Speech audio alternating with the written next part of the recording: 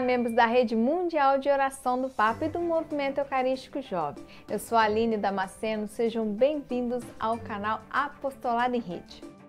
Esse canal é uma ferramenta que veio para ajudar você na missão aí junto da sua comunidade. Aqui você encontra vídeos do oferecimento diário com a intenção do mês, vídeos de formação e outros conteúdos para te ajudar nesse serviço eclesial. Antes de falarmos da intenção de agosto, eu quero propor um desafio aqui para você. Quero te convidar a fazer um exercício junto comigo. Já passamos da metade do ano de 2020 e muita coisa nos foi proposta para a nossa missão de oração ao longo do primeiro semestre. Nesse momento, quero desafiar você e a sua memória. Isso mesmo! Nesse momento, você consegue puxar na memória qual foi a nossa intenção de oração do mês de janeiro? E do mês de fevereiro? Qual foi a intenção do mês de março? E aí, conseguiu lembrar de alguma intenção desses meses que eu te falei? Aí você deve estar se questionando, Aline, para que isso? Sabe por quê? Porque todos os meses somos convidados a assumir a missão de nos unir em oração com o Papa Francisco.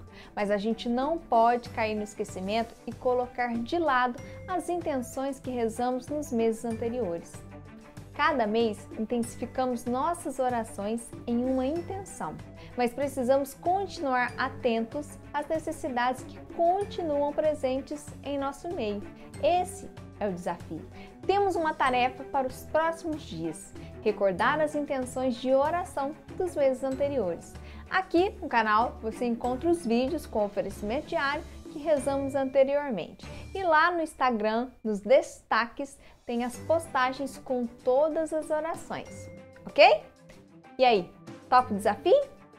Se topar, depois você pode deixar seu comentário aqui no vídeo sobre as intenções que lembrar, sobre a experiência de recordar as intenções e sobre a forma que você colocou em prática o pedido do nosso Santo Padre. Você deixa o seu comentário e assim a gente vai resumir o primeiro semestre de 2020. Você já deve estar curioso para saber qual a proposta de oração do Papa Francisco para o mês de agosto, não é verdade? Então vamos lá. Essa é bem diferente. Este mês vamos rezar por todas as pessoas que trabalham e vivem do mar, entre elas os marinheiros, os pescadores e suas famílias. Para nós, aqui no Brasil, a maioria vivendo no interior e não no litoral, essa intenção de oração não parece estar próxima da realidade. Mas o que talvez você ainda não saiba e vai aprender aqui nesse vídeo é que nós temos muitas famílias que vivem no mar e vivem do mar.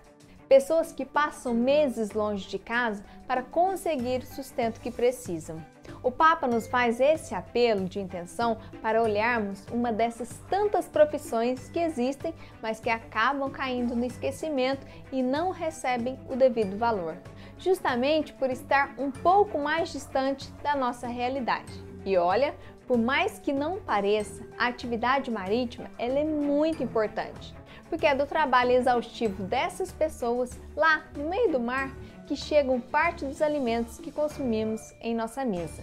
Olha como o Papa nos surpreende. Quando a gente pensa que a intenção não faz muito sentido, a rede mundial de oração do Papa é convidada a se questionar sobre essa profissão e rezar nessa intenção. As pessoas que vivem do mar. Mas tem uma explicação muito importante para esse pedido. Primeiramente, porque 2020 o apostolado do mar está completando 100 anos.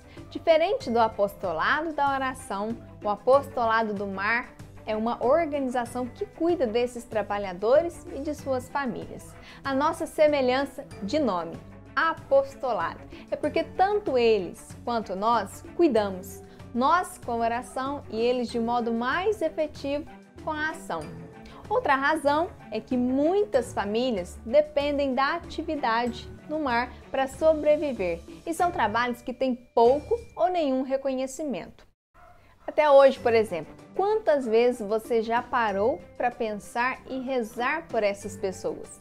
Tá vendo como nosso Papa Francisco está atento a tudo e a todos? Por isso nos conecta em rede.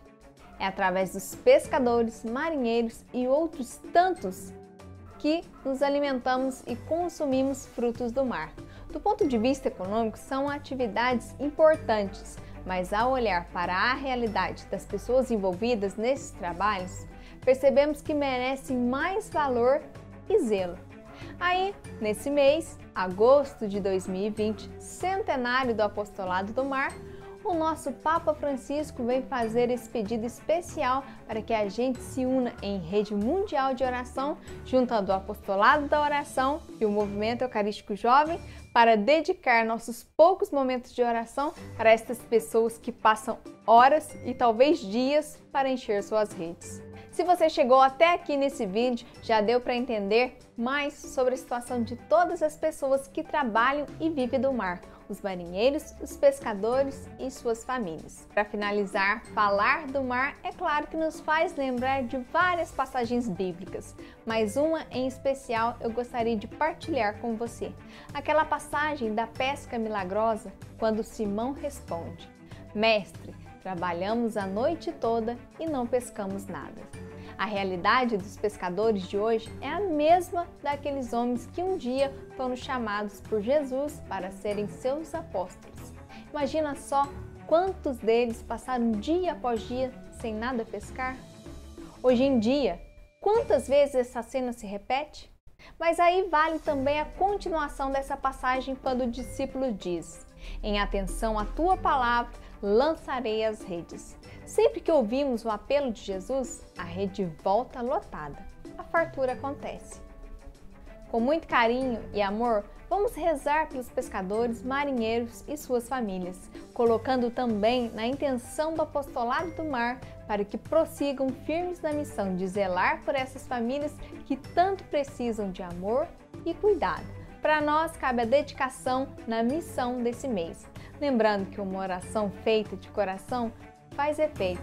De coração para coração é melhor ainda.